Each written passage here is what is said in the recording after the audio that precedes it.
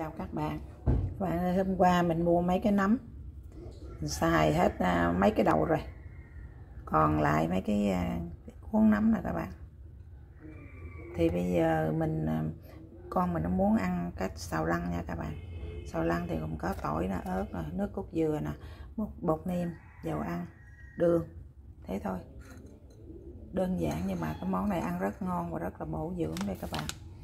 À, nghệ nữa nghệ mà kết hợp với là nấm là ăn nó chống lão quá dữ lắm nha các bạn. Thì à, những cái nấm này mình cắt nó tròn tròn đi cho nó đẹp nha. Mình làm tới đâu mình chia sẻ tới đó nha các bạn.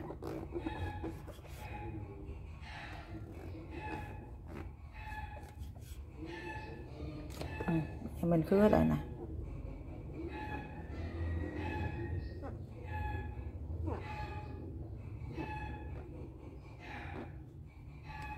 Khứa cho nó thấm nha các bạn.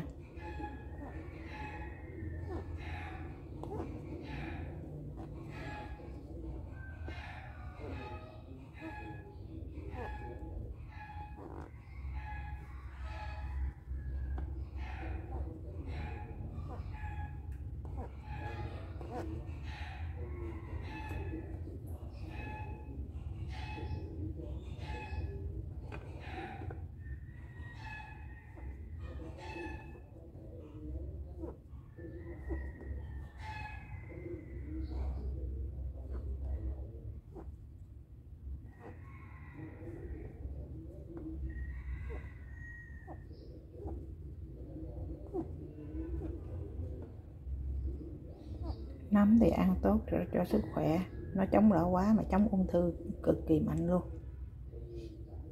Nấm này thì nó giòn nhưng mà mình sợ là mình cắt cái kiểu này nó không có thấm.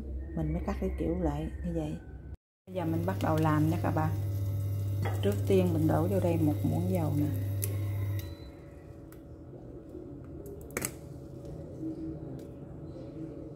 Ít thôi nha các bạn. Không có làm dầu nhiều.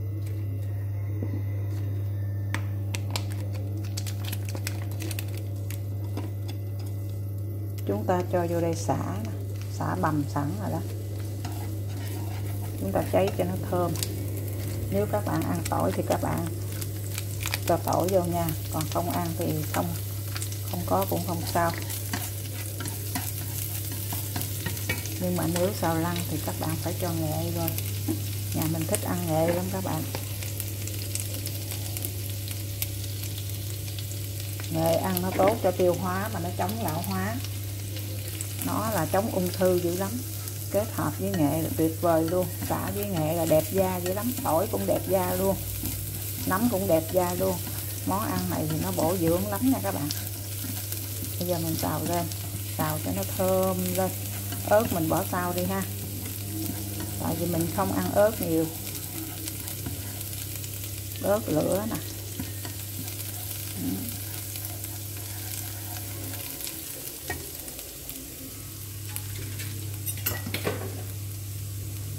các bạn bớt lửa đi nha. Các bạn cho vô đây một muỗng à, nước cốt dừa tàu lăng thì sẽ có nước cốt dừa.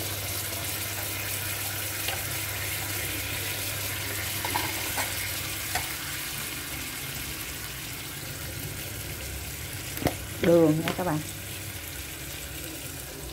Một muỗng đường.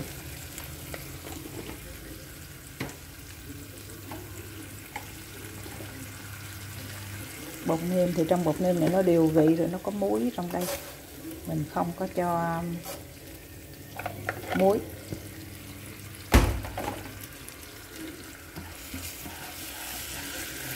Rồi, mình quậy lên nè. Mình thả nấm vô từ từ.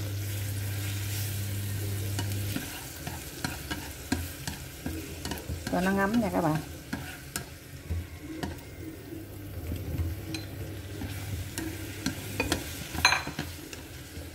lửa lên.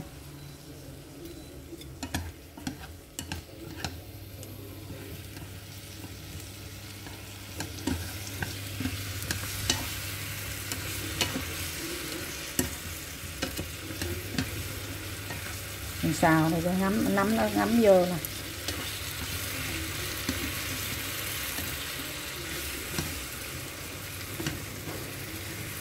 Nấm là ăn chống ung thư này nó chống stress nha các bạn chống lão hóa rất là cực kỳ hiệu quả luôn. Ăn nó giúp trí nhớ nữa. Người ta thấy đạm bằng nấm trong nấm nó có đạm nhiều lắm nha các bạn. Đó, rau thế đạm đạm thế rau chính là nấm đó. Còn trong nhà chùa người ta ăn nấm người ta thay thịt ta thay đậu hũ đậu hũ ăn nhiều quá dễ ngán nếu không biết chế biến thì nó dễ ngán. Ăn nấm thì nó không ngán mà phải biết cách chế biến nha các bạn.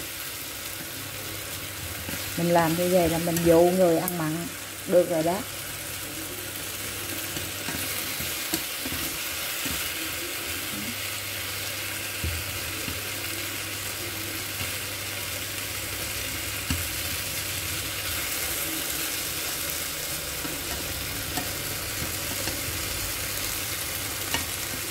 Rất là ngon nha các bạn.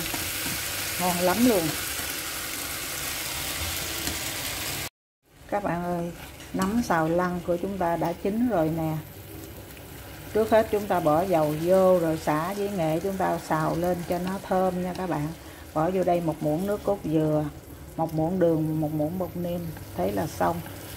Một muỗng nghệ nhỏ nha các bạn. Muỗng ăn kem đó, đó. xong nấm xào lăn rồi rất là ngon luôn. Xin mời các bạn nha.